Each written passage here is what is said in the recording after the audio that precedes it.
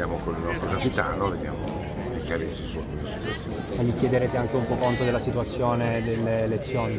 Sì, no, sicuramente. Dobbiamo chiarirci e vedremo cosa succede. Qual è il punto principale da chiarire? I punti principali ce ne saranno tanti, lui è disponibile a chiarirli e vediamo. insomma. Chiederete il congresso regionale il prima possibile. Ci sarà il congresso regionale, non so dirti quando, prima, prima ci sarà meglio. Ci si è dimenticati del nord in queste elezioni. No, dai, sì, il nord per noi è importante, dobbiamo puntare l'autonomia e gli chiederemo di l'autonomia il questo.